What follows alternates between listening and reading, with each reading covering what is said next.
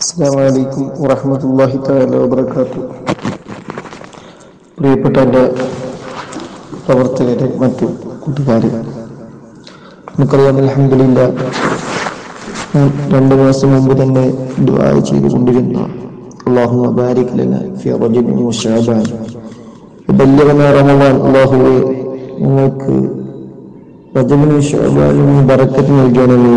അതേപോലെ തന്നെ റമദാൻ ഞങ്ങളിലേക്ക് എത്തിക്കണമേ എന്ന് രണ്ട് മാസം മുമ്പ് മുതൽക്ക് തന്നെ നാം അള്ളാഹുവിനോട് അഞ്ച് വക്തിന് ശേഷവും അല്ലാതെയും ദുആ ചെയ്തുകൊണ്ട് അലഹമില്ല നമ്മളിലേക്ക് റമദാൻ മാസം കടന്നു വന്ന് നാം ഇപ്പോൾ റമദാനിലാണ്.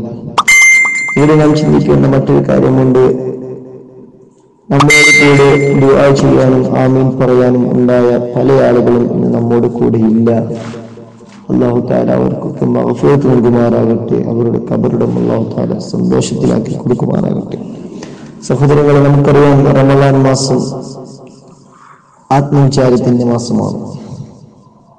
അള്ളാഹു സുബാനു താല റമദാൻ നമുക്ക് ഇറക്കിയത് തന്നെ മനുഷ്യൻ മനുഷ്യന്റെ വ്യക്തി വ്യക്തി ജീവിതത്തിൽ നിന്ന് എത്രത്തോളം മനുഷ്യൻ ഉപയോഗിച്ചിട്ടുണ്ടോ അതെല്ലാം ഇന്ന് ശരിയായി കിട്ടാൻ വേണ്ടി അതിൽ നിന്ന് ഒരു സന്മാർഗത്തിലേക്ക് നയിക്കാൻ വേണ്ടിയാണ് അള്ളാഹു താല റമദാൻ മാസത്തെ നമ്മളിലേക്ക് ഇറക്കിയത്.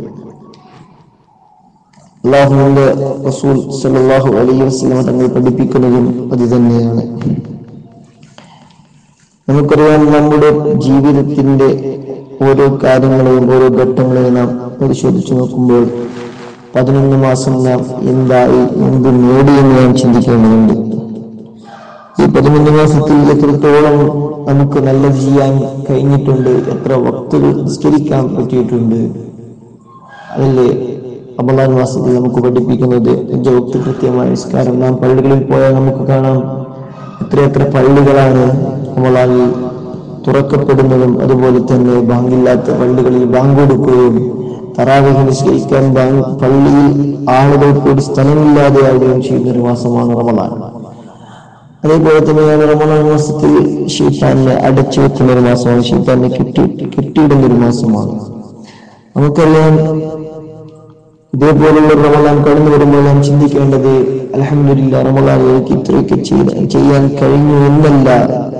മറിച്ച് എന്നതിലുപരി എന്ന് മാത്രമല്ല മറിച്ച് ഈ റമദാൻ കഴിഞ്ഞാലും ഇനിയുള്ള പതിനൊന്ന് മാസവും ഞാൻ ഇതേപോലെ തന്നെ പള്ളിയിൽ പോയി അഞ്ചു നിസ്കരിക്കുകയും ശരിയായ നിലയ്ക്ക് തന്നെ നിസ്കാരം നിർവഹിക്കുകയും സുന്നത്തുകളോട് കൂടിയുള്ള നിസ്കാരം നിർവഹിക്കുകയും ചെയ്യും.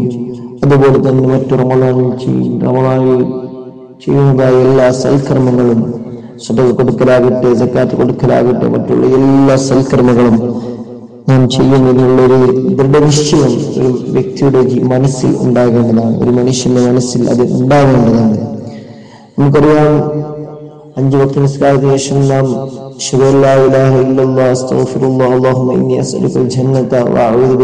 എന്ന് പറയുമ്പോൾ നാം ചിന്തിക്കേണ്ടതുണ്ട്. നീയാണ് ഞങ്ങളുടെ ഇലാഹി എന്ന് സാക്ഷ്യം വഹിക്കുകയാണ് അള്ളാഹുവിനോട് ഉറപ്പിച്ചു പറയുകയാണ് അള്ളാഹുവെ നീയാണ് ഞങ്ങളുടെ ഇലാഹ്. അതുകൊണ്ട് അസ്തഗ്ഫിറുല്ലാഹ് അല്ലാഹുവേ ഞങ്ങൾക്ക് പുറത്തു തരണമേ. ഈ പൊറുക്കൽ എന്നുള്ളത് നമുക്കറിയാം. അത് നമുക്കൊരു ഒരാ- മനുഷ്യര മനുഷ്യൻ മനുഷ്യരോട് തന്നെ പറയുന്ന ഒരു വാക്കാണ് പുറത്തു തരണേ എന്നുള്ളത്.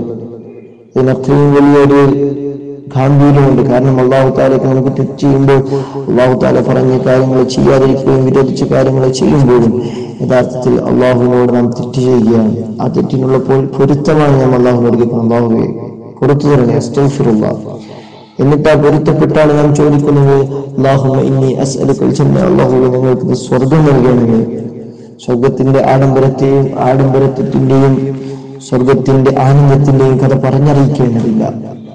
അബ്ദുൽ കൗസലിനെ കുറിച്ച് റസൂലുള്ളാഹി സ്വല്ലല്ലാഹു അലൈഹി വസല്ലം പഠിപ്പിച്ചത് തന്നെ പാലിനേക്കാൾ വെളുത്തതും തേനേക്കാൾ മധുരമുള്ളതും. അത് ഈ തടയിൽ നിന്ന് നടന്നാൽ ഒരു മാസം നടക്കേണ്ടത്തിന് ദൂരം വലിയതുമായ ഹൗലാണ്. അതുപോലെ തന്നെ അതിന്റെ നാല് കോണുകളും തൊണ്ണൂറ് ഡിഗ്രി സമാന്തരമായ കോണുകളാണ്. അതിൽ നിന്ന് ഒരിക്കൽ കുടിച്ചാൽ അവനിക്ക് പിന്നെ ദാഹം ഉണ്ടാവുകയില്ല എന്ന് പ്രവാചകൻ അലൈഹി പഠിച്ച ഹൗൽ കൗസർ. എത്രത്തോളം ഹൗൽ